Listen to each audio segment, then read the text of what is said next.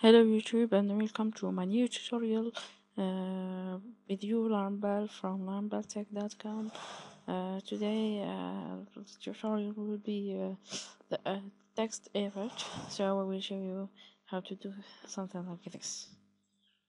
Or like this. So first click new, find new and you choose what you want. Okay. Then background would be black okay there now text with the white color. Right um,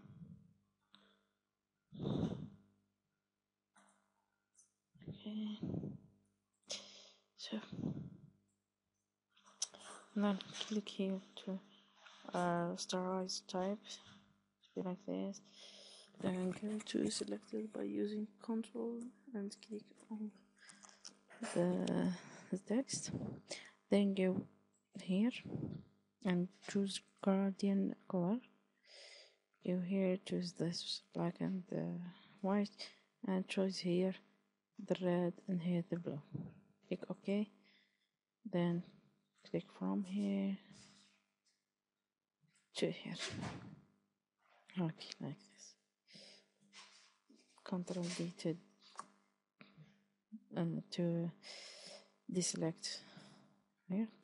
then Control G or just drop it.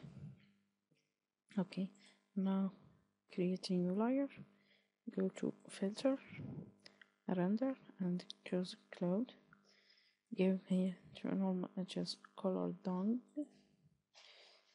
here then give just to uh, the copy of the text, go to filter, blur, and choose Gaussian blur. Choose it uh, to be like this, just put it uh, big, like this. Okay, then I think we will add it. Get your layer one.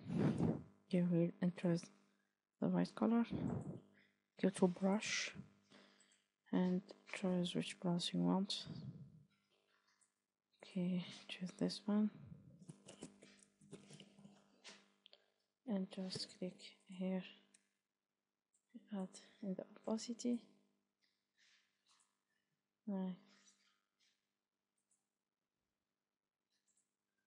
and just change the brush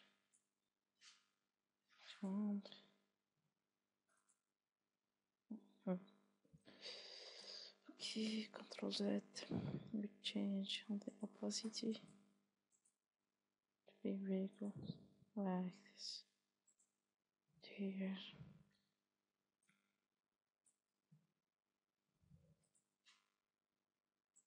Like this, and do what you want. Okay, that's all for today. Hope it's helpful for you. Uh, don't forget to subscribe to my channel and thanks for watching